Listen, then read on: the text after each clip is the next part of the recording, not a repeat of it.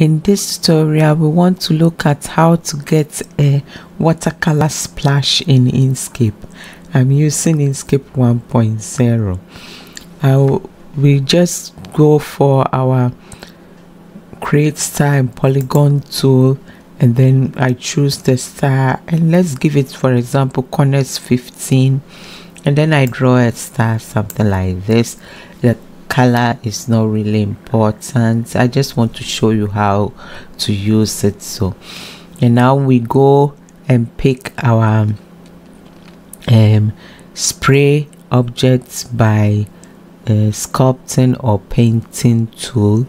And then I come here and then let's just maintain the mode here to copies of initial spray initial uh, copies of initial selection and the width we leave it as it is and the amount maybe we leave it to 15 and then we do some spraying a bit around.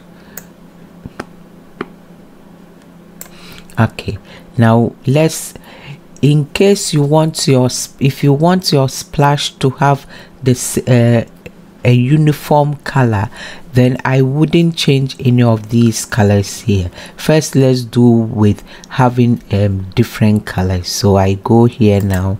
This I select some of these and give them some give them blue colors. Just to I can also give some of them yellow. If we want um, our splash to have um, different colors you know depends on uh, what you intend to do. If you want only one uniform color then you just you will continue from where i will um, start when i finish coloring um, whatever i have here. Now i think this is okay.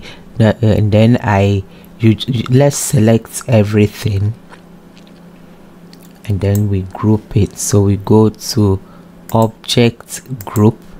Now we, we we go to filters, and then we go to test test textures and then we go to watercolor. Then you get uh, something like this.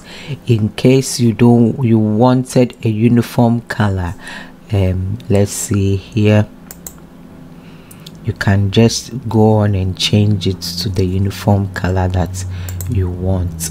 You can also put one thing i have to tell you is that um the blur in case when you did it you say oh nothing is coming. Maybe most of the time when you start doing it and then you've not used it before maybe the blur goes to a hundred. If the blur is at a hundred you might not see anything. So if you are not seeing anything don't get a panic just uh, reduce the blur a bit. Adjust the blur as you want to get exactly what um, color um, splash you, you you want to have.